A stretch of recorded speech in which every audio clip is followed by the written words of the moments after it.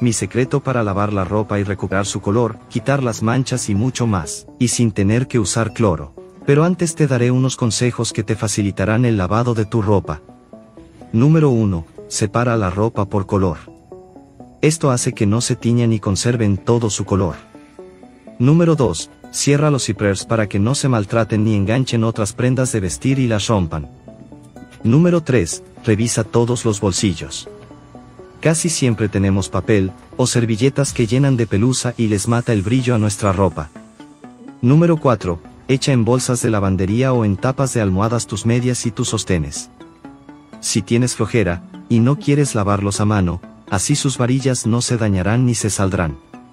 Número 5. Si quieres hacer rendir aún más el detergente y hacer que la ropa quede más limpia y desinfectada, agrégale dos cucharadas de bicarbonato de sodio y listo. Ahora sí, pasemos a nuestro consejo para quitar las manchas. Para esto necesitarás dos limones, agua, dos cucharadas de sal molida o un puñito, una taza de jabón líquido.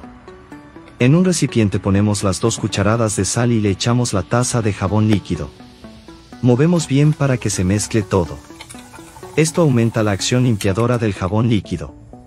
Tomamos los dos limones y los cortamos en rodajas, así como lo estoy haciendo yo. En un recipiente como este le echamos un litro de agua. La cantidad va a depender de la ropa que vayas a lavar. Ahora agregamos la mezcla que ya preparamos, remojamos bien toda la ropa. Y por último le colocamos las rodajas de limón. Así como lo estoy haciendo yo. El saludo de hoy es para Nora Torres de Argentina. El limón corta la grasa del sudor y de los restos de comida. Lo dejamos en reposo por 15 minutos. Y mira lo limpia y brillosa que queda toda la ropa. Si lo viste hasta aquí, quiero que me pongas, ya sé quitar las manchas, Dime del 1 al 10 cuánto te gustó este consejo para tu casa, y habla de esto a alguien que pueda serle útil.